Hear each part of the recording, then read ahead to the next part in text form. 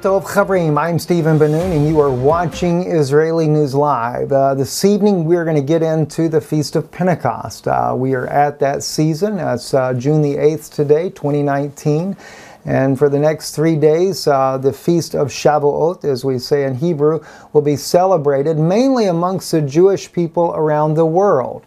And um, uh, we're kind of getting into this message tonight uh, because not only the fact that we're in that season, but also we're wanting uh, our, our friends all over the world to recognize the fulfillment of Shavuot, the Feast of Pentecost. Uh, I know I was listening to the other day. Uh, uh, Brother Paul Begley had on Mark Biltz, and they were talking about the, the, the Feast of Pentecost. And Mark had made the comment that the Feast of, uh, Feast of uh, Pentecost had been celebrated amongst the Jewish people 1,500 years before the book of Acts was ever written. Well, that's all fine and good, but the, the, the, most important part, though, is the fact that when Pentecost came, it was a fulfillment of Shavuot. It was Pentecost being fulfilled in a way that maybe many people have no idea uh, of how this was being fulfilled. We're going to talk about that tonight. And, uh, and listen, uh, I'm sure maybe Mark and maybe even Rabbi Yitzhak Shapira might be listening to this broadcast tonight. So uh, let me just say this, and, I try to always say this. You know, I, don't hate you, brothers. I, I, don't have anything against you, uh, other than the fact that I don't like what I see going on, uh, and I realize that you guys may believe passionately that you are fulfilling biblical scriptures uh, by taking the Sephardic Jews that, uh, are, that are, excuse me, the, the Sephardim that are descendant from the Inquisition, which many of them are believers in Yeshua HaMashiach, the Lord Jesus Christ that live in South America, and you're trying to pull them back into Judaism, so to speak. And uh, to me, that's, that's just, that's not wise at all. And of course, also saying that uh, that you know that the Jewish people, you've got this document, you're having ministers sign saying that uh, the, the, Jewish people they have their covenant with with God Himself, you know, Jehovah, uh, so to speak, that He they, their covenant was Him, and they don't need to be. Uh, we don't need to be talking to them about the gospel of Jesus Christ or trying to win them to Christ. That they come under this covenant here. You know, that goes completely against the words of Jesus Christ when he said to them, Except that you believe that I am He, you will die in your sins. And so later this week, I will be going into Galatians as well. It's, we've got to get back to the, the real sincerity of the gospel of Jesus Christ. And I see this forsaking of the gospel and what was brought, what was once delivered to the saints, as Jude speaks about as well. And, and I could think of no other better place than right here, beginning right here with uh, the Feast of Pentecost. We're going to be getting into that here in just a few minutes here.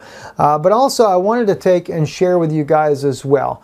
Um, and I don't know if uh, Mr. Shapiro does this intentionally or whatever, but uh, what little bit I've listened to his rebuttal against me on there, and I, I haven't had a chance to go through it as of yet. Uh, that, and of course, some people have said some things that supposedly he has said. So I don't want to accuse him of saying something that he did not say. But I have, I did hear the part where he mentions that I had written all kinds of bad things about him, sending him messages that he was this, he was that which is totally false. Uh, and, and maybe Mr. Shapira meant uh, what he's trying to say is that the people that follow our ministry are the ones making these comments, but he just attributes them to us. Uh, I, have no idea. But I personally have not written uh, Rabbi Yitzhak Shapira, not a single word as of yet. Um, you know, so the thing is, th those things are not true. And then, of course, there, this is what was said to me, and I don't know if it's true or not, but if it is, let me just set the record straight. Um, from what I was told, that there's been, these guys were doing an investigation on me, and I, turns out I'm not really Jewish. Well, you know, by many uh, Orthodox rabbis today, I'm not Jewish because I believe that Jesus Christ is actually the Messiah. Uh, or maybe they search their records and they can't find me uh, bar mitzvah according to some particular synagogue somewhere. I don't know what their case is, but I will say this. And if you go on my website, which I don't like promoting uh, books and stuff like that, but I've written two books uh, Israel, Are They Still God's People? Uh, because yes, I'm against replacement theology as well. And uh, Yam Suf, uh, The Final Exodus. And in, in the book there, I believe it's in Yam Suf. I don't know if it's actually in Israel, Are They Still God's People or not, but in Yam Suf, I actually talk about uh, my past. I talk about how that uh, I was given my sister's father's name at birth, but it wasn't my actual name. I go into this, the things that happened there, that my father was actually a Jewish man. Uh, and he, of course, he comes, his family are descendants from Morocco. They went through Spain, they went through the Inquisition, uh, came out the other side, uh, uh lived in uh, France, and then it ended up in the United States later down the road there. Uh, I've actually posted my own DNA online before. You can see Jews, Jews, Jews everywhere in my family. many of them are Sephardic Jews. Um, I also have, have, Ashkenazi Jews in my family, and my mother's side, they fled Germany because of the persecution of the Jews and came to the United States. Uh, but I did come from a family that did not practice Judaism on my mother's side either. I was bar mitzvahed in Israel, though, at the age of 40 years old. And uh, so I did go through a formal bar mitzvah in Israel. And, uh, but I've attended many, many synagogues not going to go into all the di different particular issues, things like that. But I, I, told you guys this not too long ago, even before this issue ever came up with uh, uh, Rabbi Shapiro there, that there's going to be a lot of false accusations put out. Because the closer you hit the nerve of the truth, the more Satan will come against you. Uh, I was even offered, while I was at the Knesset, I was offered that they would push through my citizenship to become an Israeli citizen. All right? This is these are the things and many of you guys know these things. So, yeah, we're going to have a lot of false accusations and, and all types of things like that. No big deal, don't worry about it, you know. The reason why these things are done is because Satan wants to put doubt in your mind. He wants to discredit uh, who I am or, or anything about my past, just so that they just hope that you just won't trust anything that I say. All right, that's okay because we do serve a mighty God. And of course, my desire is, and I will say this, I say this to the people that listen to the broadcast, um, I, don't want you guys to go badmouth uh, Mark uh, Biltz or Rabbi Shapiro. We try to bring these things out in a very honest way in why we disagree with their approach and what they are doing. We do think it's dangerous. Now, I cannot say that Rabbi Shapiro believes in the seven Noahide laws. I've not heard that from him per se. I have heard it from Mark Biltz because we were actually hoping that Mark would come on board and say, no, the, these seven Noahide laws are terrible. You know, because the problem is they come from the Talmud. And if you read what Rambam writes in the Talmud, uh, under the sub-laws of the seven Noahide laws that the, uh, the sin of, of um, idolatry is beheading. And of course, we have played for you over and over, rabbi after rabbi after rabbi, including some of the very famous ones that these guys like to promote as well, like in the case of uh, Tovia Singer, that Christians are idolaters based on the seven Noahide laws. So how are you guys going to fix that for these people that you're trying to bring back under Judaism? All right. So look, I, don't have anything against you guys uh, as people, and in fact, you know, because you both profess to believe that Jesus Christ is the Messiah, my desire is that you know, that, that, that, we could come to a reconciliation of the truth of the gospel and not push Yeshua off to the side because it seems so obvious to me. Now, it's not being said, but it seems obvious to me that there is this ideology that there is coming some future Messiah for Israel, and it's not going to be Jesus Christ. All right? And I know that many people don't like to say the name Jesus Christ. You know, Yeshua HaMashiach But the thing is, there must be a reason there, there's a fear of this name. But anyway, I've seen the dead raised in the name of Jesus Christ. I've seen the blinded eyes open in the name of Jesus Christ. So I know what I'm talking about. But anyway, let's get into this because it's really a beautiful message. And uh, like I said, this is actually, uh, and I want to thank Sister Jennifer as well. Uh, she's a good friend of ours. Sister gets amazing revelations. But uh, she was talking to my wife earlier today, and they were discussing uh, Zechariah chapter 8 about uh, the 10 people of the nations, just paraphrasing, take hold of this, of the seat of a Jew and say that we hear that God is with you, show us your ways. And this is this scripture is really being pushed uh, as another reason why uh, we need to be sitting under the tutorship of modern day rabbinical teachers. And my problem is is that the rabbinical teachers of today are still in the same situation as it was 2000 years ago. There's been no difference. There's been no change. There's all this talk that, uh, to the Christians that they need to repent for the sins that were done for the Jews. Now, I'll agree with you that uh, under the name of Christianity, there have been a lot of Jews killed over the years. But there's also been a lot of infiltration of Jesuits that have killed a lot of Jews as well. There have been tremendous number of Jews that went to the death camps and the Holocaust because of the Zionist movement.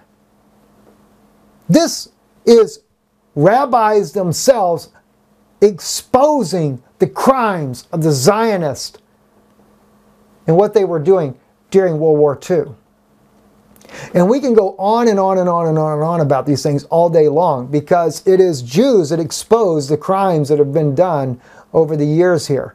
But again, but there's also been thousands of Christians that have loved the Jewish people, protected the Jewish people at their own life, losing their own life during the Holocaust protecting Jews, etc. All right? So None, nonetheless, so the, the point that, that, that I'm wanting to uh, share with you guys today, though, is we want to look at the Word of God.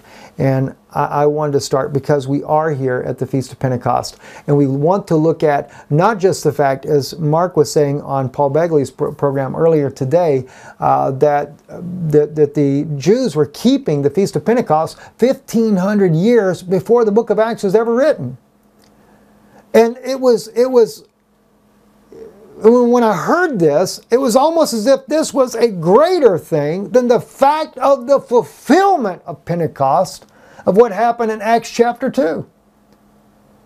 You know, sure, and the Jews have been keeping Pentecost ever since almost 2,000 years after Yeshua came and after the day of Pentecost went as well. But don't forget, if you try to say that the Jewish people of today, because this is a, a document, one of the documents that, that, that was brought out by uh, in, in this meeting down in South America, that they want ministers and messianic leaders to sign as this document that states in this document here that, uh, or one of the, one of the points in there, is that we should not try to to um, proselyte the Jewish community.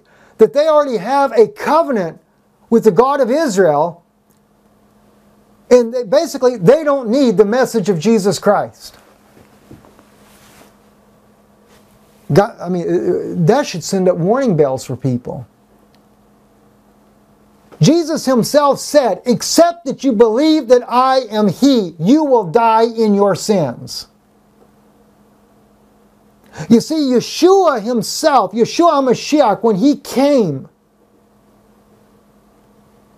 he was fulfilling all these prophecies all the way down from Moses and the prophets. They all prophesied of him. David prophesied, Isaiah prophesied of him. Everywhere you look, there are prophecies about Yeshua when he would come.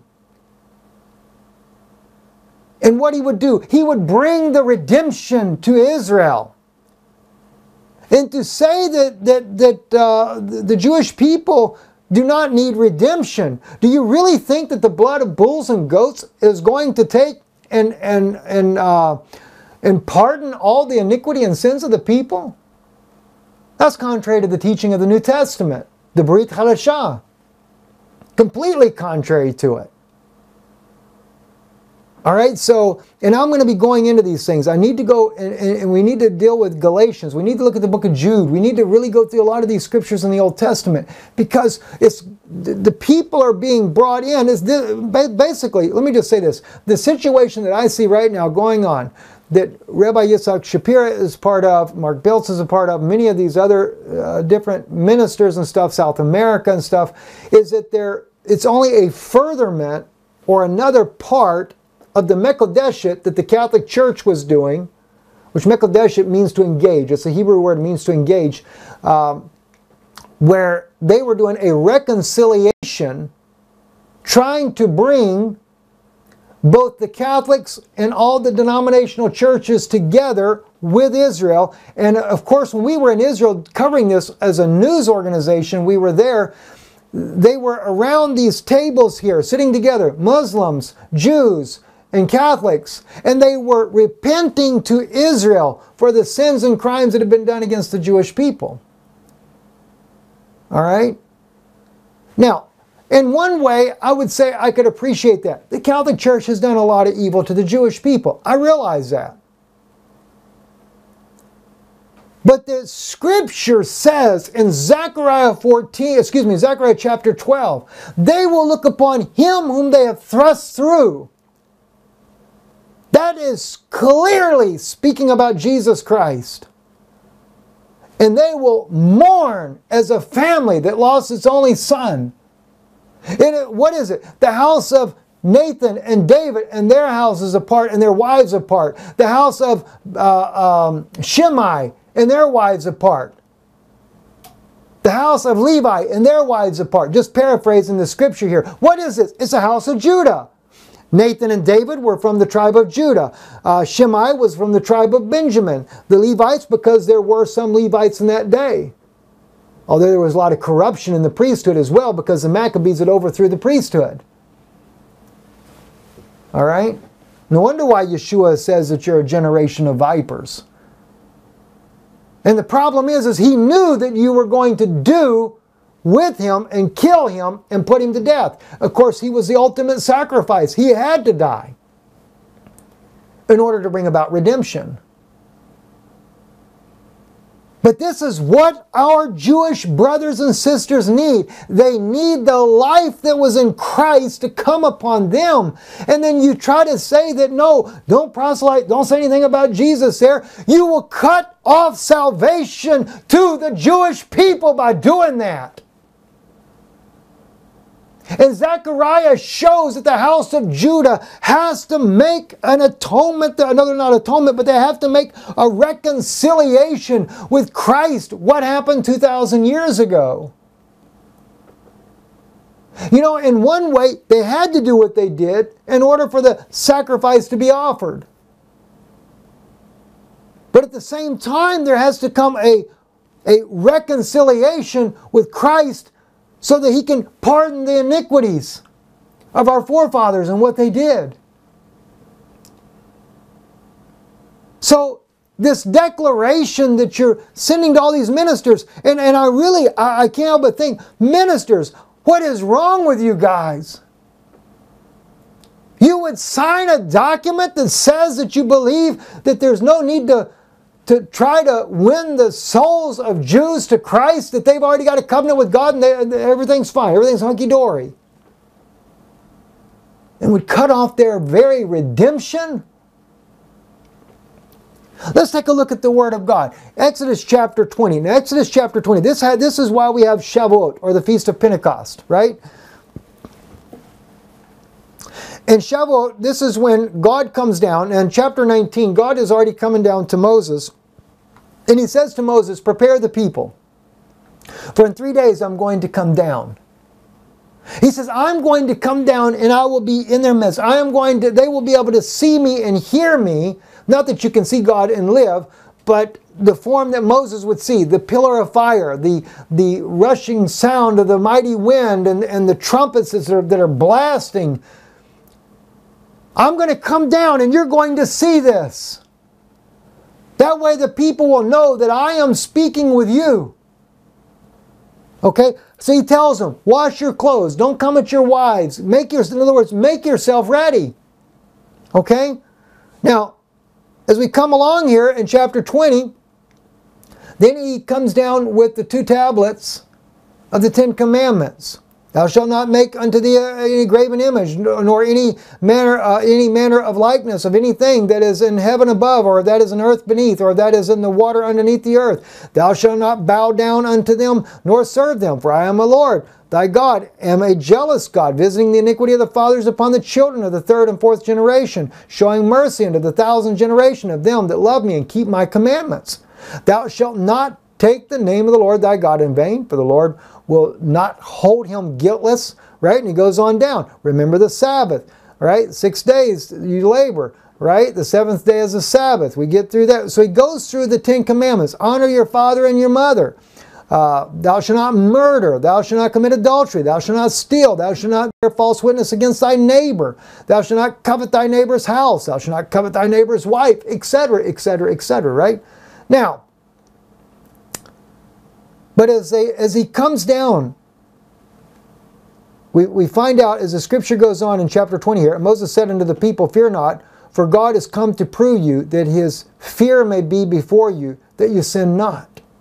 And the people stood afar off, but Moses drew near into the thick darkness where God was. And the Lord said unto Moses, Thus shalt thou say unto the children of Israel, Ye yourselves have seen that I have talked with you from heaven. You shall not make with me gods of silver or gods of gold. You shall not make unto you an altar of earth that shall make unto me and shall and shall sacrifice thereon thy burnt offerings. Right? So he goes into all these things here.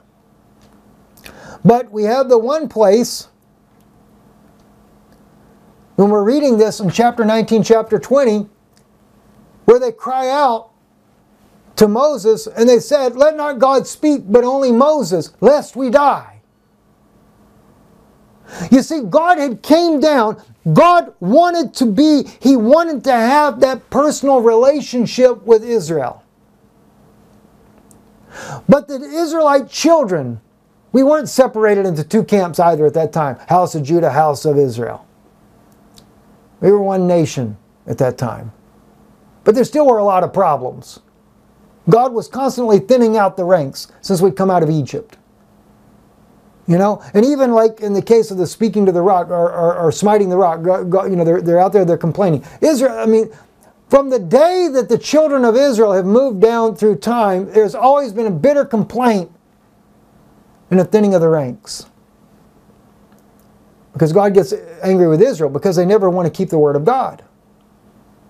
They murmur against Moses after they come out of Egypt. They see all the signs and wonders and everything, the parting of the Red Sea, the plagues of, of, of Egypt and they, they're only two weeks in their journey, and then they get to, uh, to, to, to the one place there, they're crying, they say, we don't have any water to drink, you brought us out here to die, we'd be better if we'd have been left in Egypt. God says to Moses, gather the elders of Israel, come over to this rock over here, and smite the rock that it bring forth its water. Now, 38 years later, he tells him to speak to the rock. But the first time around, he tells him to smite the rock you know, which was a type of Christ. That the how that the children of Israel, in this case here would be the house of Judah, that the elders of Israel, when the rock came, the rock that could give forth that water of life, would be smitten, would be judged by the elders of Israel, and then smitten that it would bring forth its water. This is why we see in Zechariah chapter 12 that when it says that they will look upon him whom they have thrust through. Now you might argue, well, the Roman soldier is the one that took the spear and drove it into his side. You know, if you know anything about law or court cases, when I was a police officer, you know, if you arrest somebody and, and, and you've got uh, a, a, drug deal went down and for some reason they shoot a guy in the process, I remember I had a situation happen like that. Guy got shot in the head. There were three suspects there. Only one guy pulled the trigger, but all three got charged with murder. Accomplice. It's the same thing that God looked at when it come to Yeshua. The Romans would have never put him on a cross. The Romans would have never drove the spear into his side. Pilate was minded to let him go, But unfortunately, which actually I shouldn't say unfortunately, because if he hadn't given his life freely, and if it had not been that the rabbis had condemned him to die, there would be no redemption.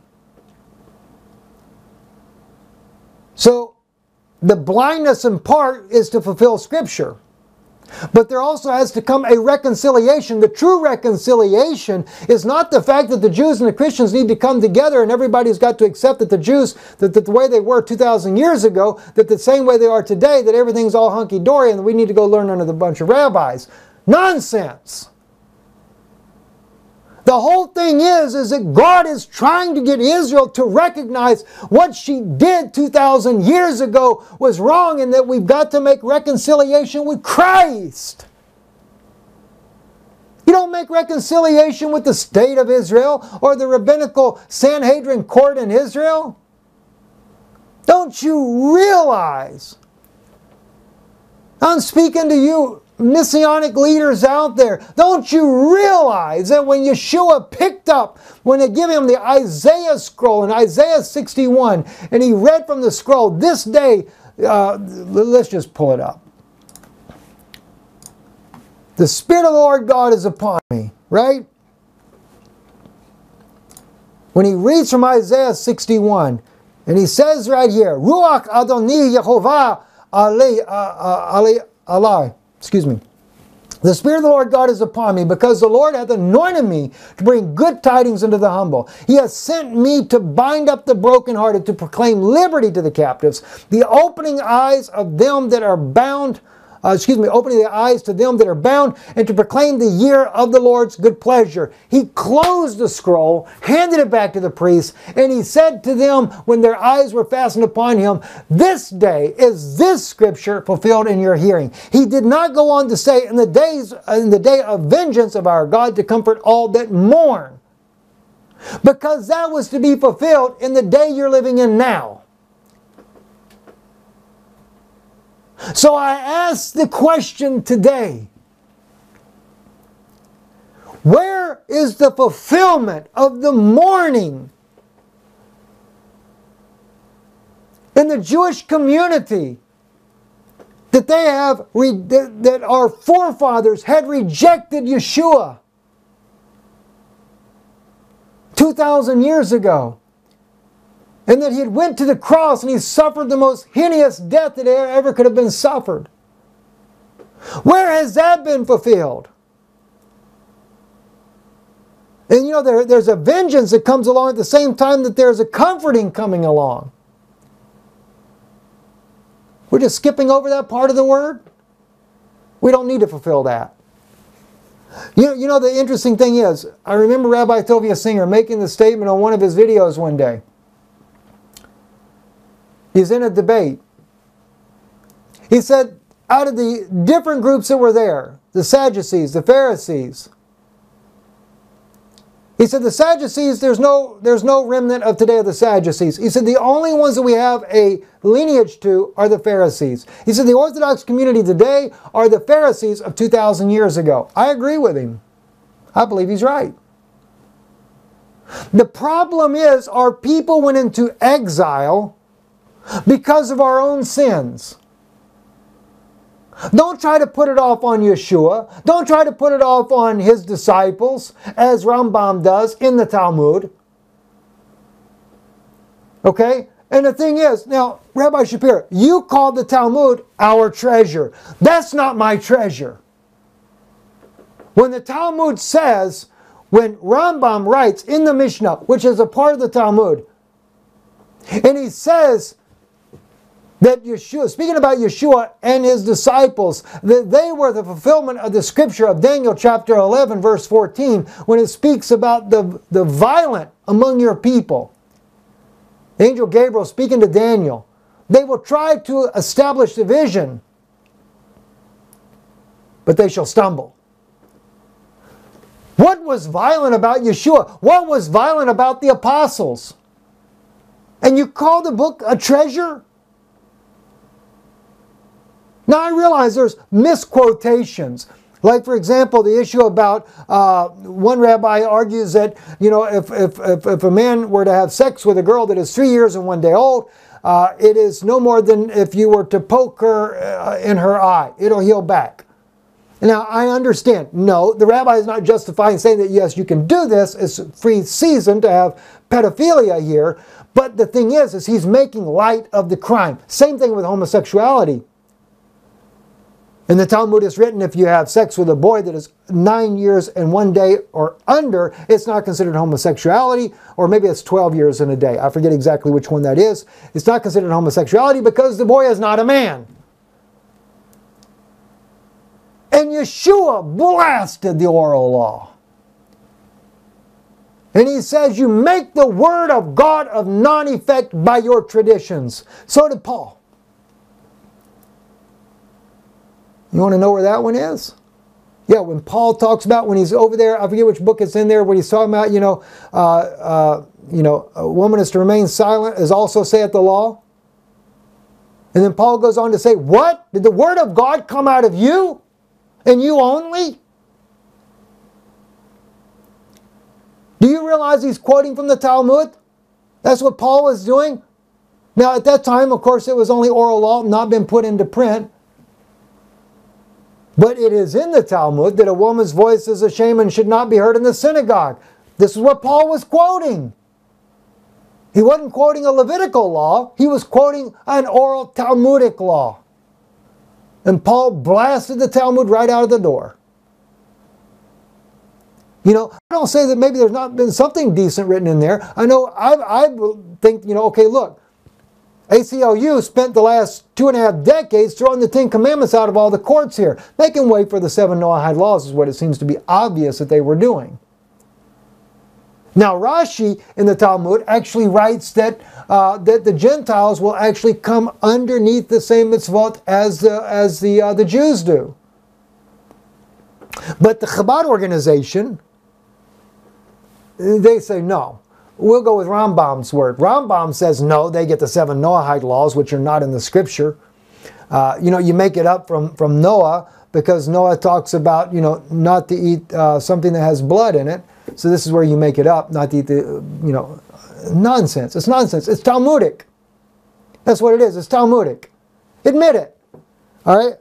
But anyway, the point is, is that the need for the salvation of Jesus Christ, for it's, it's a redemption, brothers. Now I say this, when I say brothers, I'm talking about everywhere. Regardless of what your background is, whether you're Jewish, whether you're a Christian, whether you're Messianic, whether you're Hebrew roots, whether you're Baptist, Methodist, whatever you might be, Rabbi Shapiro, Mark Biltz, it is redemption, my brothers. When Christ came, he didn't just come just for no reason. When they smote that rock, it was a sign to show there is something going to happen in the future. And the rock, Christ Jesus, Paul said that he was that rock. He also said he was a cornerstone that the master builders rejected. But when he would be struck, as Moses struck the rock, what happened? The water came out. When Christ, when that Roman soldier pierced his side. The blood and the water came out, separating his water from his blood. Don't you know he was sure it was a sign like the woman at the well? Yeshua goes up to the woman at the well. He says, Bring give me a drink. She says, Sir, it's not customary. You're a Jew, I'm a Samaritan. We have no dealings with one another. He said, But if you knew it was that was speaking to you, you'd ask me for a drink and I'd give you water. You don't have to come here no more. He was giving her a sign, just like Moses gave a sign to Israel all those thousands of years ago. Moses gave that sign. When the rock would be stricken, the water would come from the side. He said to the, the woman, He said, You know, they got into the argument, the, uh, theological, so to speak. You know, she's or she's the one doing the arguing. He said, "Go get your husband and come here." She said, "I have no husband." He said, "You said the truth. The one you have, you've had five, and the one you're living with now is not yours either." Sir, I perceive you're a prophet. That's what the Messiah is supposed to do when he comes. What was the Messiah supposed to do? Know the secrets of the heart. You notice that? Why? Because when God stood there and spoke to Abraham, and Sarah was in the tent behind him, she laughed within her own heart, never out loud. And the very man that was standing there with Abraham, the angel, all right, that had just partaken of food of this earth, says to what? Says to Abraham, why did your wife laugh? So that woman knew that the Messiah is gifted like that. All right? So he gave her that sign to look for. Why? Because he's the waters of life. Okay? Now, so anyway, God tells him to make ready. He's telling him to get ready for, and let's go back over to Exodus 20, to make ready. But they said, Let not God come down, let not God speak, lest we die. But did you notice what was happening? Right? Did you notice the thunder, the lightning, the rushing mighty wind, so to speak, right? Let's look at the book of Acts. And when the day of Pentecost was fully come, they were all with one accord in one place. See, I like that when it was fully come. Basically, at the end of Pentecost, if I understand that right. It'd be at the end of Pentecost. Same thing. God told, excuse me, God told Moses to tell them on in the third day, I'm going to make myself known to you. Now there's a prophecy in Hosea still yet to be fulfilled where there's going to be another outpouring of the Spirit here in the last days, right? But anyway, he says here, the third day, make ready. All right? And suddenly there came a sound from heaven as a rushing mighty wind, and it filled all the house where they were sitting. And there appeared unto them cloven tongues like as of fire, and it sat upon each of them. You read it over in Exodus 19 and 20? That It was, it's like an amber fire, a pillar of fire. God came down. Here's that fire. This, clo- this this, and there appeared unto them cloven tongues, like of a fire, and it sat upon each of them. You see, God was showing the children of Israel back in the days of Moses, he wanted to have a relationship with him. He wanted to be with them. He wanted to live in them. They could not receive it. Because why? Redemption. Why do we have to have a redemption? Because it was lost in the Garden of Eden. When Adam and Eve sinned in the Garden of Eden, they broke that fellowship. When God, let's go to let's go over to Genesis real quick. We got to we got to look at this, and a lot of this is probably uh, grammar school for most of you that are listening because you guys have heard this so many times, right? All right, Genesis chapter two, right? Uh, where are we at? Verse uh, yeah, right here, verse seven, right? Then the Lord God formed a man of the dust of the ground and breathed into his nostrils the breath of life. Right? Right there. Afar min ha'adam uh, ve'ipak bepa'av nishmar chayim. He breathed into his nose that chayim, the breath of life. Nishmar chayim. Ve'haya ha'adam lenefesh chaya. He becomes a living soul. It's a singular. But when he breathes into him, he breathes that life in a plural. That was Chaim is God's own life. Isn't it interesting? If you look, I think it's verse 9. I should know this by heart by now, right? All right. Uh, okay, here we go, right here. All right. And also the tree of life, also in the midst of the garden, right? Ve'es ha'chaim betok hagan va'idon uh, I'm sorry, began ve eitz uh, hada'at v'ra'ah. I'm thinking Eden in my mind, and so I'm thinking of saying. Not that's not the word for Eden; it's another tree. All right, but the point is, the tree is the tree of life, right, in the midst of the garden. Now, if God breathes in the nostrils of this clay figure called Adam, man, and he breathes in him Chaim, and we find out in the midst of the garden is a tree of Chaim. What is the fruit of the tree of Chaim?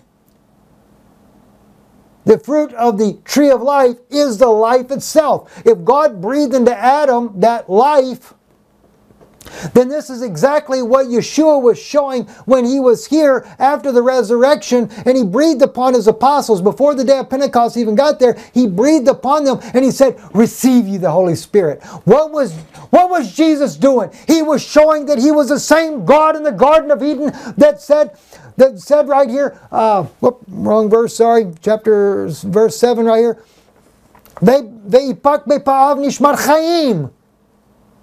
he was showing them that He was that same God that breathed in them that breath of life, the tree of life.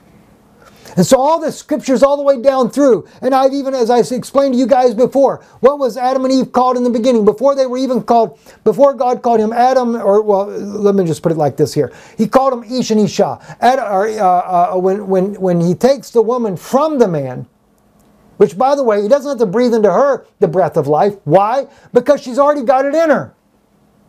That's why he breathed it in a plural form in Adam to start with, Chaim, because she was filled with the Holy Spirit inside of her own husband. Just like John was filled with the Holy Spirit from his mother's womb. Yeah. See, God never loses those shadows and types all the way down through the scripture. But he called her Isha why he says because she was taken from what? Minish. And that's so beautiful. You know, the scripture says the day will come they will no longer call me Baali, but they will call me Ishi. That is also redemption. Why? Because Ishi shows. Or this one time where you can say the rabbis have got a pretty smart teaching here. They say that if you look at Ish and Isha, you have the fire, Aish, Aleph Sheen. But in Ish, you have Yod in the middle, the divine name of, first letter of the divine name. The second letter of the divine name is an Isha. At the end of her name, it's Aleph Shin He. If you take God out of the marriage, you only have a consuming fire. But when you have the fire within, it's the Holy Spirit within the Ruach HaKodesh living it inside. And so therefore, when you try to tell me that the Jews of today in Israel don't need Jesus Christ and what he had to offer, you're taking away redemption. You can't do that, brother. You can't do that, sister. That's another gospel. And it's and as Paul said, I am I am so amazed that you are bewitched and taken by another gospel, which is not a, a, a gospel. You know, sure, what was done to the Jewish people down for the last 2,000 years, I, I hate that, that, that, they went through it. My family went through it as well. We have people on the Yad Vashem Memorial as well. All right? But the thing is, is regardless, so I have come to the knowledge that Jesus Christ is indeed the Mashiach. In Israel, the, under the Jewish traditions, we've had a lot of people we thought was the Mashiach. There's only one that laid his life down, was able to raise it up again. There's only one that the scriptures prophesied of that Yeshua fulfilled, every single one of them to the letter. All right? Now, so let's see. Was over here in Genesis. Let's go back over here. Now, I want to show something to you now. Let's go to Zechariah. This is the beautiful one. Hmm. I'm going to back up a little bit before we get to verse 21. Let's read a little bit of this. Let's go start with verse 19. Thus saith the Lord of hosts, the fast of the fourth month, and the fast of the fifth, and the fast of the seventh, and the fast of the tenth shall be to the house of Judah joy and gladness and cheerful season. Therefore love ye truth and peace. Thus saith the Lord of hosts, It shall yet come to pass that there shall come peoples and the inhabitants of many cities. And the inhabitants of one city shall go to another, saying, Let us go speedily to entreat the favor of the Lord, and to seek the Lord of hosts. I will go also. Yea, many peoples and mighty nations shall come to seek the Lord of hosts in Jerusalem and to entreat the favor of the Lord. Thus saith the Lord of hosts, in those days it shall come to pass that ten men shall take hold out of all the languages of the nations, shall even take hold of the skirt of him that is a Jew, saying, We will go with you, for we have heard that God is with you. All right? Now, I've even taught before that I believe that this could be the two witnesses that they take hold of the skirt of the, of the Jew. But I had not really paid attention to the reading of it in Hebrew. And then, of course, Sister Jennifer tells my wife, You need to go have your husband show you in there. It's the word Ish. Yeah, Ish Yehudi. Ish Yehudi, right? A Jewish man. All right? And it doesn't say he's going to take hold of the tzitzit. The tzitzit is written all the way through the scriptures here. So we know what tzitzit, when you see the word tzitzit, you know the word tzitzit. Bekanaf Bikanaf is not a tzitzit. It is the wing of your garment. Now, it is believed or assumed in this case by uh, teachers today that it is speaking of the tzitzit because Moses commanded that the uh, tzitzit be uh, attached to the kanaf of your garment.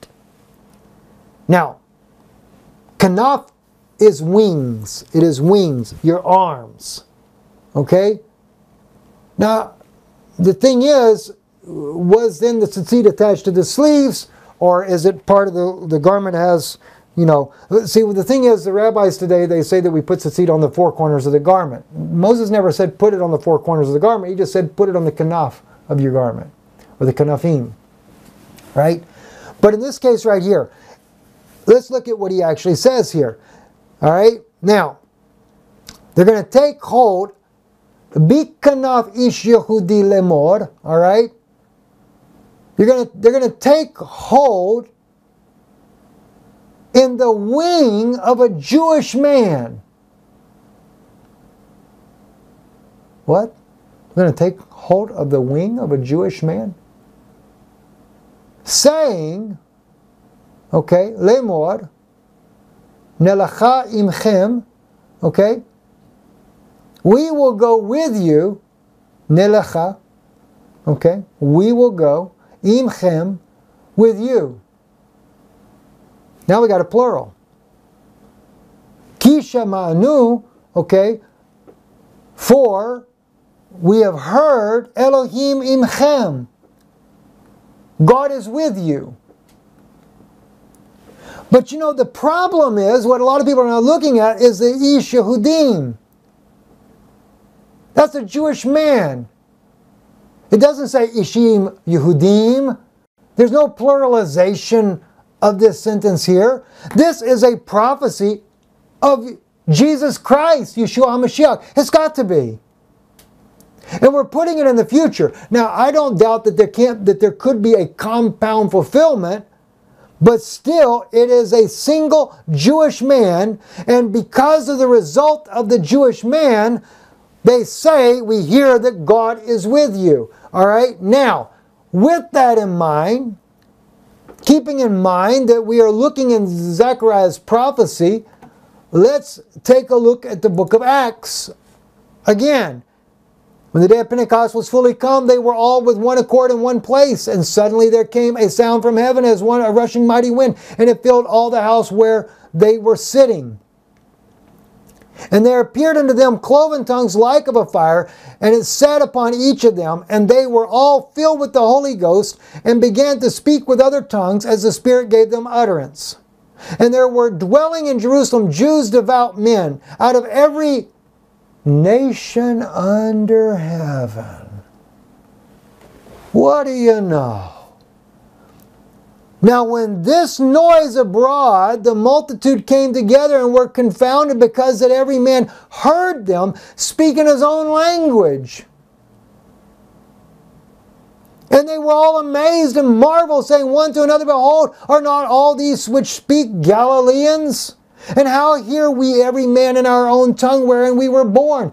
The miracle here is not an unknown tongue. It was when they spoke, they could hear in their own language. What did Yeshua say? He that hath an ear, let him hear what the Spirit saith. Right? Parthians, Medes, Elamites, the dwellers of Mesopotamia and Judea and Cappadocia and Pontus and Asia, uh, Phrygia, and uh, you know we go. I can't even say half these names. Egypt and the parts of Libya and Cyrene and strangers of Rome, Jews and proselytes, Cretes and Arabians. We do hear them speak in our tongues the wonderful works of God.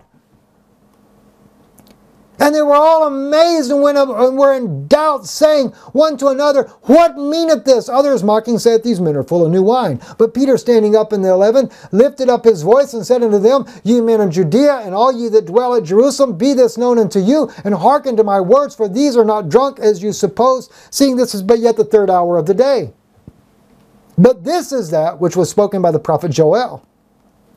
And it shall come to pass in the last day, saith God, I will pour out my spirit upon all flesh, and your sons and your daughters shall prophesy, and your young men shall see visions, and your old men shall dream dreams. And on my servants and on my handmaids I will pour out in those days of my spirit, and they shall prophesy. And I will show wonders in heaven above, and signs in the earth beneath, blood, fire, and vapor of smoke. And the sun shall be turned into darkness, and the moon into blood, before that great and notable day of the Lord come. And it shall come to pass that whosoever shall call on the name of the Lord shall be saved. You men of Israel, hear these words. Jesus of Nazareth, a man approved of God among you by miracles and wonders and signs, which God did by him in the midst of you, as you yourselves also know. Now he's getting to that what? That Ish Yehudi, that Jewish man him being delivered by the de- uh, determinate counsel and foreknowledge of God, ye have taken by wicked hands and crucified and slain, whom God hath raised up, having loosed the pains of death, because it, it was not possible that he should be holden of it. For David speaketh concerning him, for I, I foresaw the Lord always before my face, for he is on my right hand, that I should not be moved. Whoa! You ought to go look at what David actually said, then you'll know who Yeshua really is. Therefore did my heart rejoice and my tongue was glad. Moreover, also my flesh shall rest in hope, because thou wilt not leave my soul in hell, neither wilt thou suffer thine Holy One to see corruption. Thou hast made known to me the ways of life. Thou shalt make me full of joy with thy countenance. Men and brethren, let me freely speak unto you and patriarch David that he is both dead and buried, and his sepulchre is with us unto this day. Therefore, being a prophet and knowing that the God had sworn with him an oath to him that of the fruit of his loins, according to the flesh, he would raise up Christ to sit on his throne. He, seeing this before, spake of the resurrection, right? Of Christ that his soul was not left in hell, neither his flesh did see corruption. This Jesus hath God raised up, whereof we are all witnesses. Therefore, being by the right hand of God exalted, and having received the Father the promise of the Holy Ghost, he hath shed forth this which you now see and hear. For David has not ascended into the heavens, but saith to him, The Lord said unto my Lord, Sit thou on, on my right hand, until I make thy uh, thy foes thy footstool. Therefore, let the house of Israel know assuredly that God hath made that same Jesus, whom you have crucified, both Lord and Christ. Notice the house of Israel. You ain't got to bring nobody back, Shapiro. You ain't got to bring nobody back, Mark Biltz. See, he had already sent his apostles to the house of Israel. Now, I believe there is a compound fulfillment, but again, it's still in Christ. And these brothers that are over there in South America already believe Jesus Christ. Let them alone. Now, when they heard this, they were pricked in their heart and said unto Peter and to the rest of the apostles, men and brethren, What shall we do? Then Peter said unto him, Repent and be baptized, every one of you, in the name of Jesus Christ for the remission of sins, and you shall receive the gift of the Holy Ghost. For the promises unto you, unto your children, and to all that are far off, even as many as the Lord our God shall call. And you want to say that don't take this beautiful gospel to the Jewish brethren in Israel? Don't take it to the Jews when it's the life giving salvation, when it is the fulfillment of Zechariah chapter 8. They will take hold of the wing of the, that man, that Jewish man. Why? Because they heard that God is with them. Because why? The day of Pentecost was fulfilled. They see that that Russian mighty wind, they see that what God was doing with Moses and the children of Israel when the children of Israel rejected the presence of Almighty God and said, not let God not speak, but only Moses speak. And they took a counter way of God dealing with the children of Israel, only through a prophet. When redemption was to put that life back in you. Oh my gosh, what a redemption if I ever seen one. Psalm 36. Let me show you this one here. How precious is thy loving kindness, O God. The children of men take refuge in the shadow of thy wings. They are abundantly satisfied with the fatness of thy house. Thou makest them drink of the river of thy of thine pleasures. For thee is the fountain of life. In thy light do we see, in, in, in, in thy light do we see light. Again, the shadow of his wing is Christ Jesus. There it is. He is the fountain of life, is he not? He is that light. Do we see? Do we see light? Oh, continue thy loving kindness unto them that know thee and thy heart, thy righteousness to the upright in heart.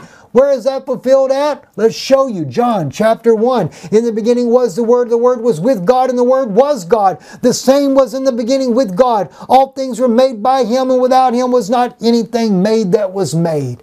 In Him was life, and the life was what? The light of men. And the light shineth in darkness.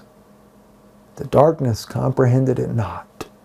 That goes back to Genesis chapter 1 as well. He is the light. He is the life. You know, I love my brothers. I love my sisters that are Jewish. And I don't believe in replacement theology. But I do believe that if they don't recognize Yeshua as he's, let me, let's just pull this one up so you know. Believe I am he. All right. John chapter 8, verse 24. You can go back to Isaiah 42 and see the same thing if you really pay attention, if you know your scripture. Right? So let's go to John chapter 8. Let's go to verse 24. Whoop. Pull it up. John chapter 8, verse 24. And he said unto them, let, let, let, me back up just a little bit. Then said Jesus again, into, let's back up a little more. These words spake Jesus in the treasury as he taught in the temple. And no man laid hands on him, for his hour was not yet come. Then said Jesus again unto them, I go my way, and you shall seek me. You shall die in your, excuse me, and you shall seek me, and shall die in your sins. Whither I go, you cannot come. Then said the Jews, Will he kill himself, because he saith, Whither I go, you cannot come? And he said unto them, You are from beneath, I am from above. You are, you are of this world, I am not of this world. I said therefore unto you, that you shall die in your sins, for if you believe not that I am He, and actually the word He is not there, except that you believe that I am. Ehyeh Asher Ehyeh.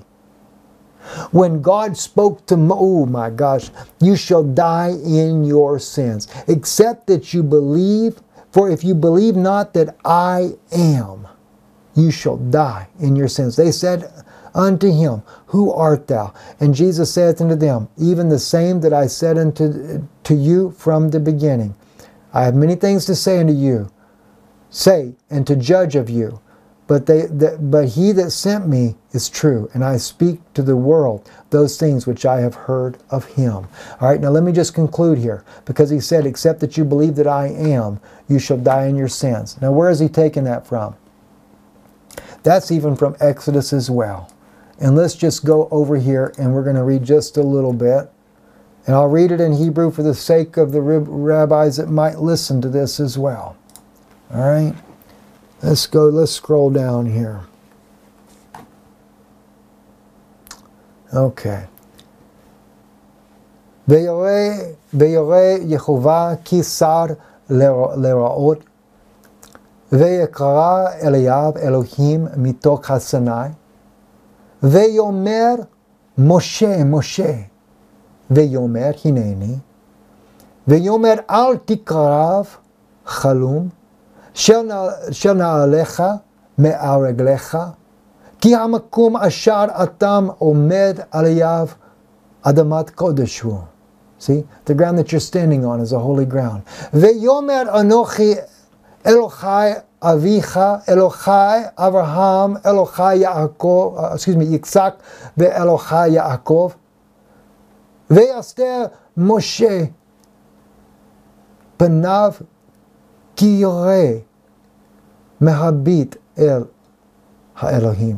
ויאמר יהובה רואה ראיתי את אני עמי אשר במצרים ואת צעקתם שמעתי מפני נגשיו. כי ידעתי את מה, uh, uh, excuse me, מה כאוביו. They, you know, actually, let me go further down. All right, because he's going to talk about, because uh, I'm just, I, I, maybe I should just do this in English, might be a little bit easier, and then I'll just read the rest of it in, in English for you in just a second, I mean Hebrew in a second there. Now behold, the cry of the children of Israel is coming to me. Moreover, I have seen the oppression wherein the Egyptians oppress them. Come now therefore, and I will send thee unto Pharaoh, that thou mayest bring forth my people, the children of Israel, out of Egypt. And Moses said unto God, Who am I that I should go unto Pharaoh, that I should bring forth the children of Israel out of Egypt? And he said, Certainly I will be with thee, and this shall be a token of thee that I will that I have sent thee. When thou hast brought forth the people out of Egypt, you shall serve God upon this mount. Moses said unto God, Behold, when I come unto the children of Israel, and shall say to them, The God of your fathers has sent me unto you, and they shall say to me, What is his name? All right? What shall I say unto them? All right, let's just pick it up. Elohai avatechem shalachani Eliachem ve'amruli Mashimo. They will say to me, what is his name? Mashemo. Ma'omer lechem. What do I say to them? Ve'yomer uh, uh, Elohim el Moshe Ehyeh Asher Ehyeh. Ve'yomer כה Amar לבני Yisrael, Ehyeh שלחני אליכם. Tell them, see, tell them, I am that I am. And, and go on to say, to Amar livnei Yisrael, right, and say to the children of Israel, or the sons of Israel, Yihaye, I am, Shalachani, Eliachem has sent thee. I am. And what did Yeshua say over here? Kind of drug it out. I probably shouldn't have read as much as I did there. I apologize. He said here, I said therefore unto you that you shall die in your sins. For if you believe not that I am, you shall die in your sins. See, the whole point was why was Yeshua saying that? Just like it was with the case of Moses.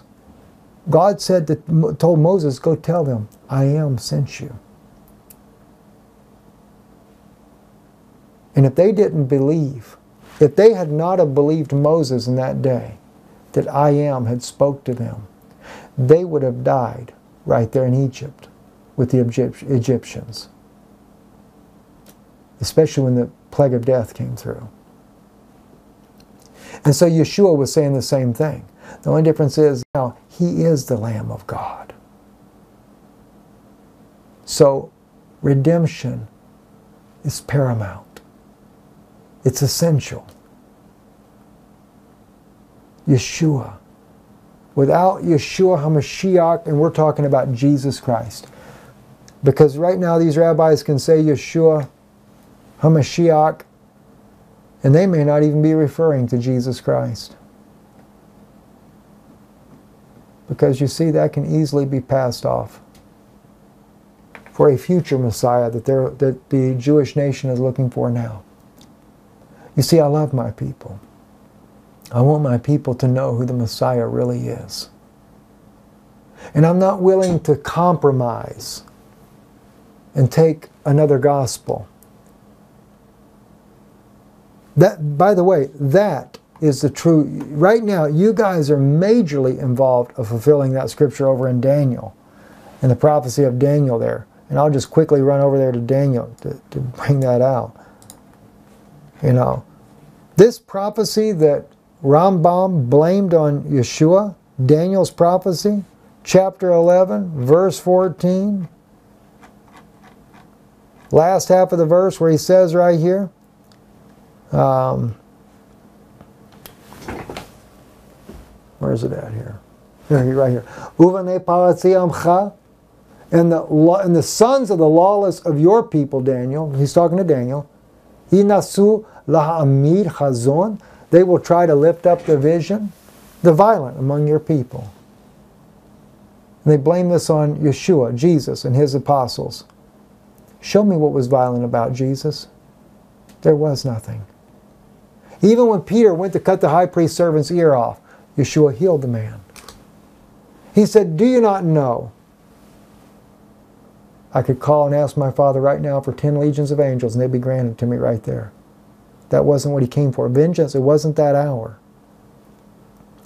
But today, we do see in the national state of Israel, they're willing to bring about these prophecies, including with violence.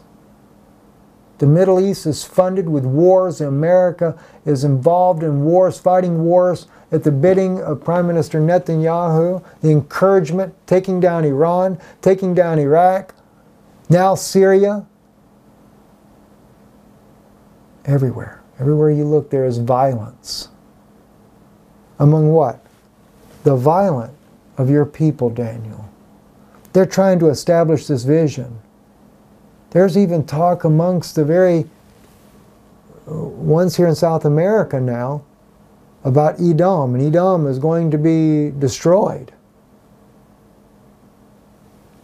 Well, no doubt Edom will be destroyed, but the problem is the believers in Jesus Christ are not Edom. We're going to teach who really Edom is in the very near future. I'm Stephen Ben-Nun. If this message is a blessing to you, support the work we're doing. We need your help. Visit our website, IsraeliNewsLive.org, our mailing address here at the bottom of your screen. You can also join us on Patreon. In fact, this is where the Stephen Yana chats will be airing.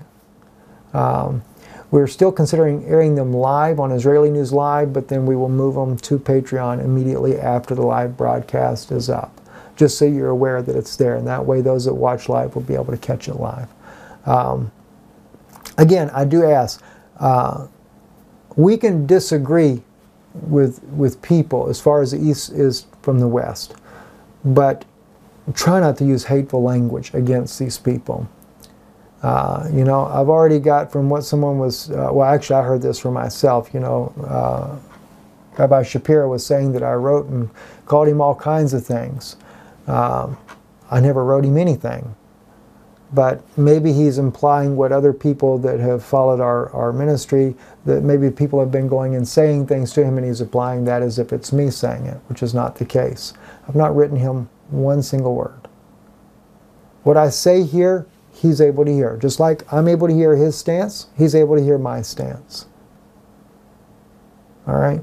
So we know where we both stand already. Um,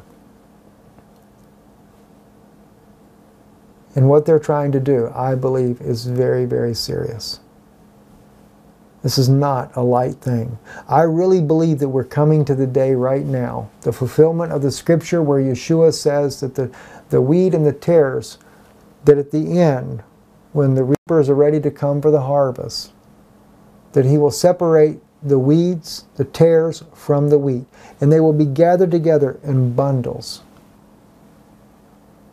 I have never in my life seen a division before where we are seeing those in the different ranks of Christian world binding themselves together and binding to the secular state of Israel and underneath rabbinical teachers saying that this is where the true word of God comes from.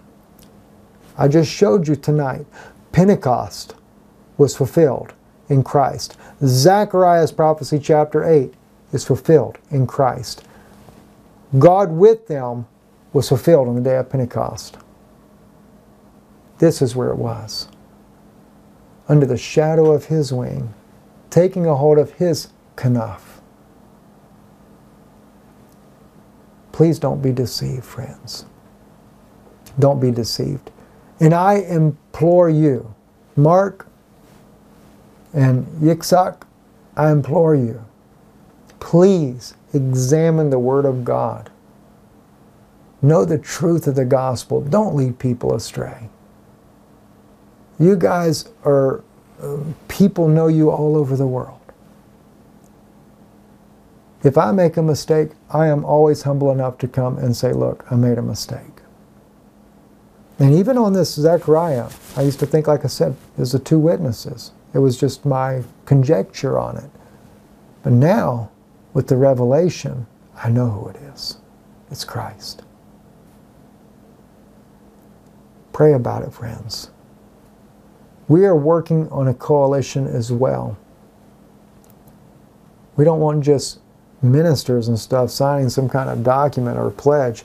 We're wanting all the believers to come together to pledge to stand with Jesus Christ. They say that I'm anti Semitic because I believe the truth of the gospel. I don't hate my people. But I refuse to allow someone, because they have a different belief, to take away the gospel message that brings redemption to both the house of Judah and the house of Israel. And there will only be a remnant that will believe it. That is true. You know, I've shared with you guys in private meetings that you guys are not aware of. But those that are in the private meetings, they can tell you. We knew almost at the very beginning of our ministry, we didn't know how, what part of this was going on, but we knew even the names of those leaders that were put out there to bring about this covenant between all, bringing all Christians under Judaism. At that time, we didn't know for sure how it was going to work out, but we did know specifically who they were. And before any of this stuff here got started, I was already telling you guys who they were. Think about it. I'm Stephen Ben-Nun. You're watching Israeli News Live. Erev Tov. I'd love to say shalom, but we live in a world of ain shalom. Jesus says when they say to you peace and safety, don't believe it because sudden destruction will come.